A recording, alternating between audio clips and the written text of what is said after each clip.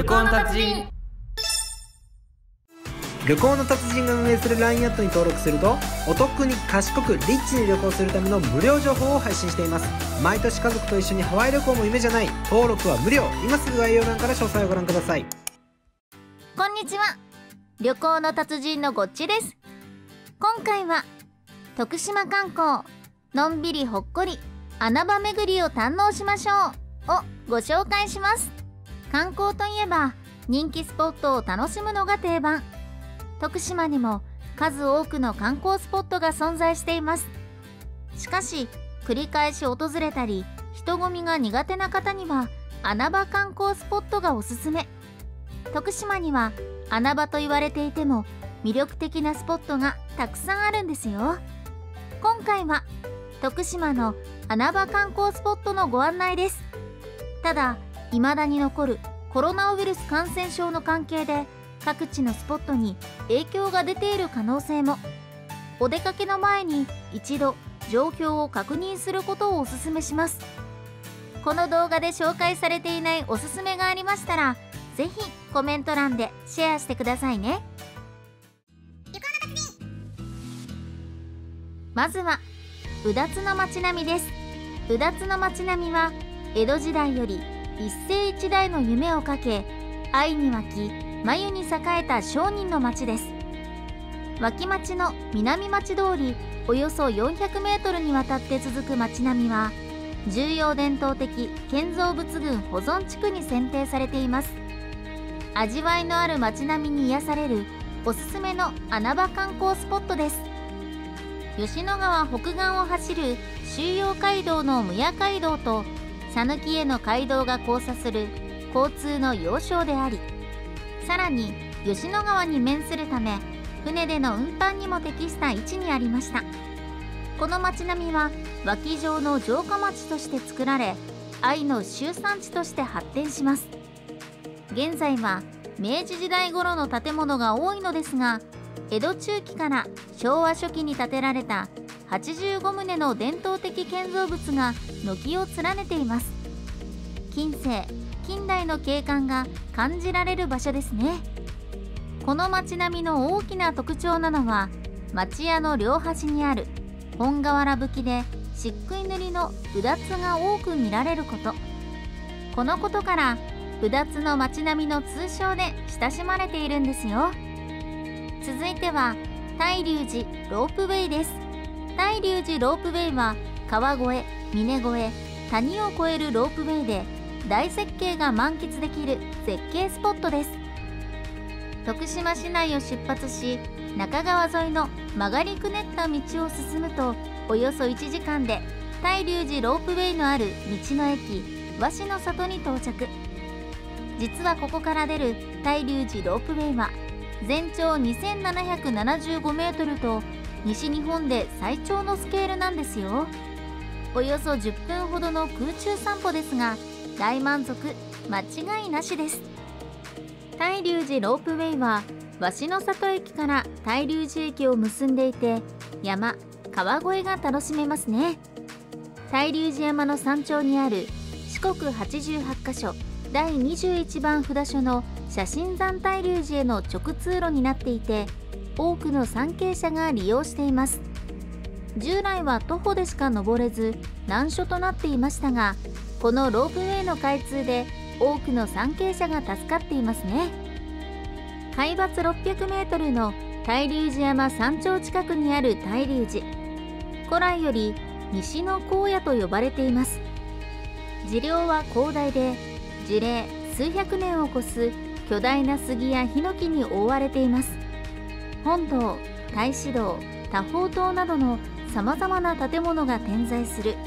四国霊場の中でも群を抜く壮大なスケールを誇っているんです。続いては等々力九十九滝です。等々力九十九滝は徳島の知られざる清流海部川の上流にある日本の滝百選の一つです。四国で一番の大滝等々力の滝は等々力の名のごとく大地を震わせる爆音はまさに圧巻。上流には大小さまざまな滝があり轟九十九滝と総称されています。本滝から最上部の滝まで轟九十九滝はおすすめの穴場観光スポットです。マイナスイオンをたっぷりと浴びることができますよ。遊歩道も整備されていますので往復2時間ほどかけてゆっくりと散策が楽しめます。轟九十九滝は徳島県の中でも特に特徴的な景観を誇るスポットです。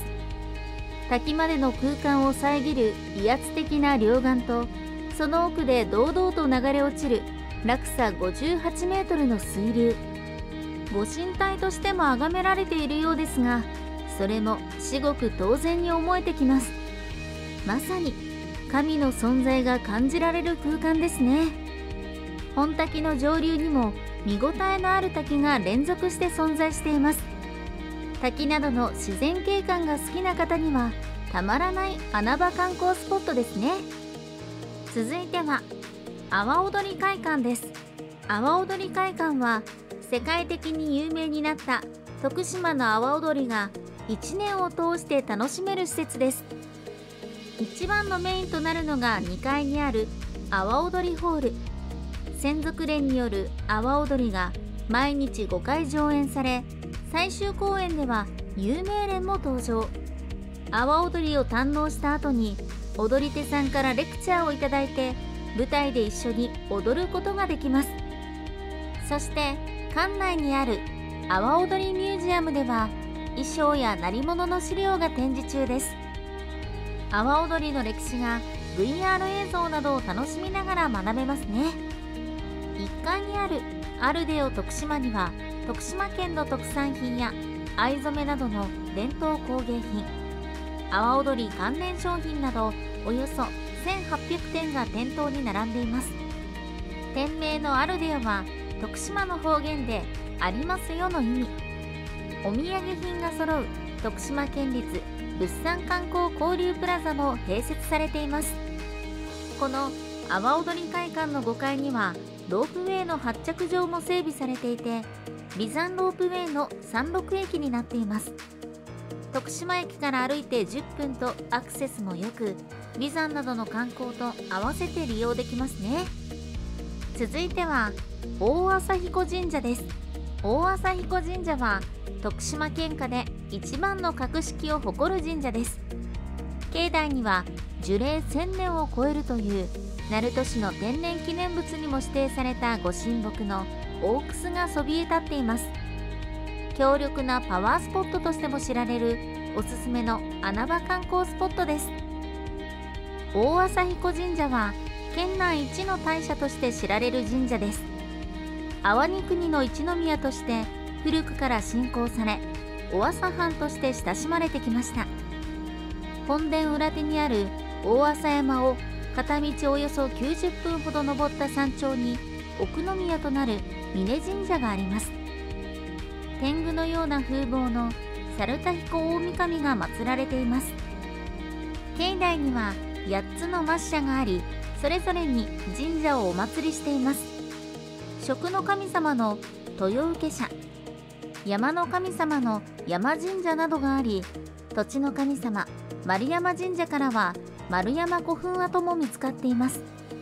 さらに神社の裏には石積みのドイツ橋もあり見どころの一つとなっています。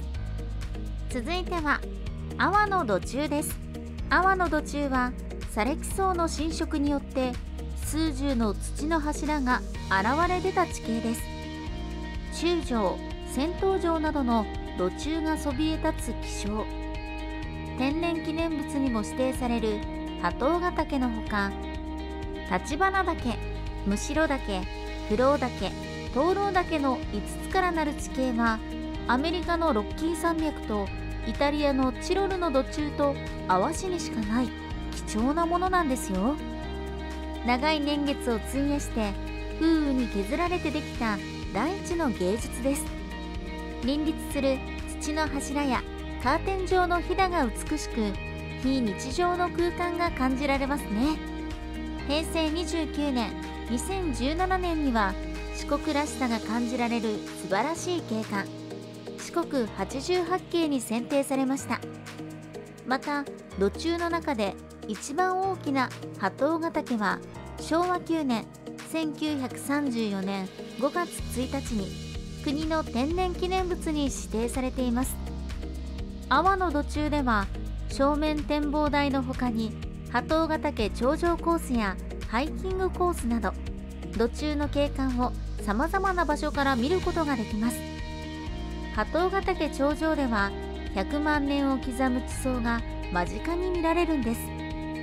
そして頑張ってハイキングコース頂上の展望台まで上がると徳島市内まで見渡せる絶景が堪能できます。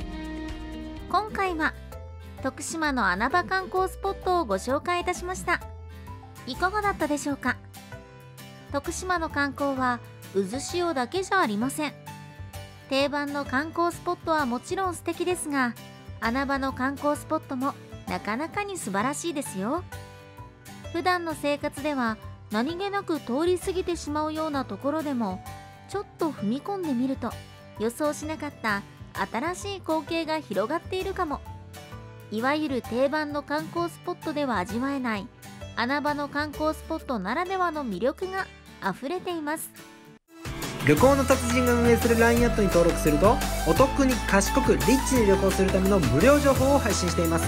毎年家族と一緒にハワイ旅行も夢じゃない。登録は無料。今すぐ概要欄から詳細をご覧ください。最後までご視聴いただきありがとうございます。